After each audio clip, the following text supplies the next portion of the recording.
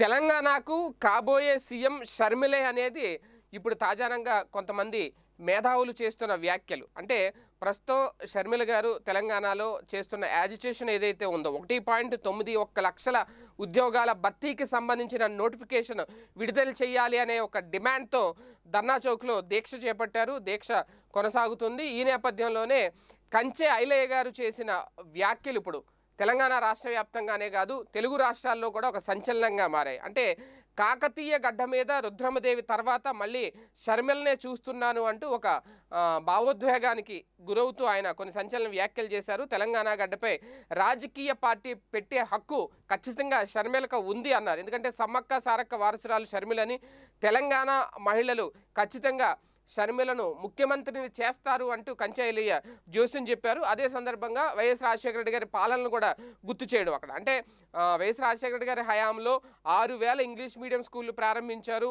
పేదల చదువులకు ఎక్కువగా ప్రాధాన్యత ఇచ్చేవారు అనేది కంచాయలయ్య గారు ఈ సందర్భంగా గుర్తు చేసిన పాయింట్లు. అంటే వాస్తవానికి డెబ్బై రెండు గంటల దీక్ష దిగారు షర్మిల గారు కానీ పోలీసులు మాత్రం ఒక్కరోజుకి అనుమతి ఇచ్చారు. ఓకే అదేం జరుగుద్ది అనేది కూడా చాలా ఇంట్రెస్టింగ్ పాయింట్. కానీ ఈ సమయంలో అంటే షర్మిల గారికి వస్తున్న సపోర్ట్ కానివ్వండి ప్రజల నుంచి.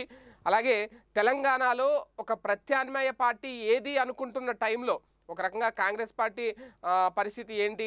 లేదంటే టీడీపీ పరిస్థితి ఏంటి? ఇలా అనుకుంటున్న సమయంలో ఒక ప్రత్యామ్నాయం ఏంటి అనుకుంటే ఒక రైట్ టైంకి ఒక రైట్ డెసిషన్ తీసుకొని సరైన సమయంలో అడుగు పెట్టారు. సరైన సమయంలో రంగంలోకి దిగారు షర్మిల గారు అనేది. ఇప్పుడు ప్రభుత్వ వ్యతిరేకత ఎటు వెళ్ళాలి అనుకుంటున్న టైంలో ఆ వ్యతిరేకత అంతా పాజిటివ్ ఓటుగా షర్మిల పార్టీకి మారే అవకాశం ఉంటుంది అనేది కొంతమంది విశ్లేషకులు చెబుతున్నమాట. ఆమె చేస్తున్న ప్రసంగాలు కానివ్వండి ఆమె మాట్లాడుతున్న మాట తీరు కూడా ప్రజల్ని ఎంతగానో ఆకట్టుకుంటుంది అనేది కూడా ఇప్పటికే చాలామంది విశ్లేషకులు తమ అభిప్రాయాన్ని వెల్లడించిన నేపథ్యం. ఈ ఈ సమయంలోనే తాజాగా కంచాయిలే గారు చేసిన వ్యాఖ్యలు మరొకసారి చర్చనీయాంశమయ్యాయి. మరి ఆయన చెప్పిన జోస్యం ఎంతవరకు వర్కౌట్ అవుతుందనేది వేచి చూడాలి. ఈ వీడియో గనుక మీకు నచ్చినట్లయితే లైక్ చేయండి షేర్ చేయండి.